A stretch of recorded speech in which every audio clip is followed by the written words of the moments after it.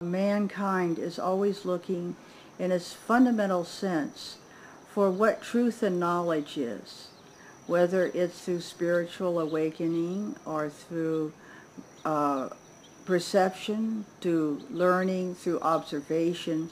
And we're on a path that we always want to understand more about reality.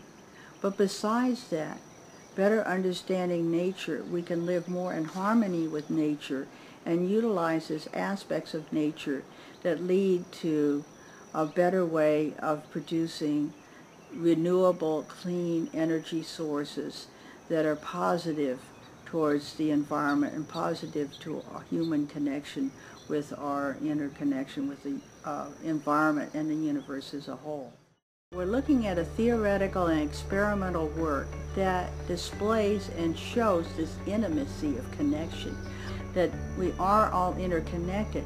Now beyond that, if we really understand nature and this harmonious, remote, interconnected level, at this fundamental level, we can utilize these forces in a positive manner to support human life, but all life. I search for truth and knowledge and disseminate it, not just for mankind, but for all existence because I see everything as all one in the wholeness of it.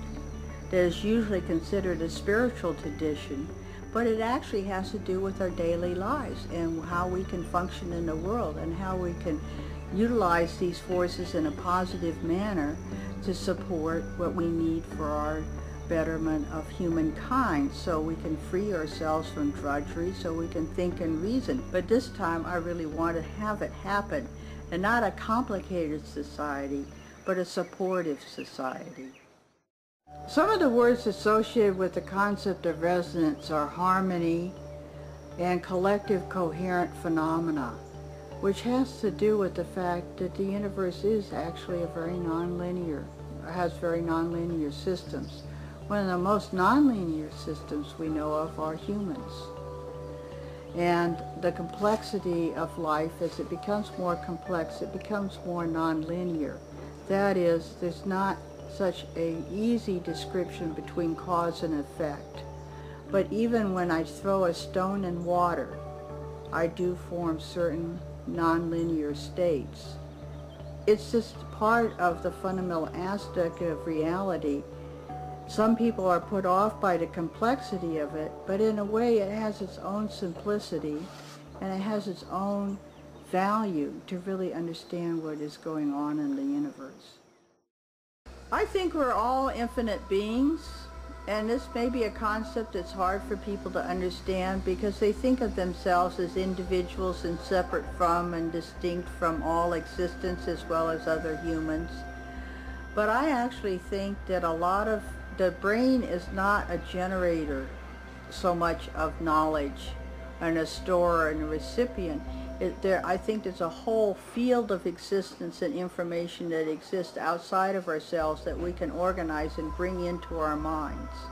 But you have to open your mind to the possibility of using dream states, altered states of consciousness, um, yoga, meditation, and other methodologies I found extremely useful to gain knowledge. And I don't submit my papers and say I literally dreamed this up, but I did. What I really enjoy is the fact that it's like the whole universe is this wonderful mystery that's presented to us. This wonderful mystery that unfolds before us, that we look for clues as to what its purpose and meaning. So I see us now on a great threshold of adventure like life really is. And there's so many gifts that nature is going to give us in the bounty of knowledge and truth that will make our lives better, but the universe and the world a better place.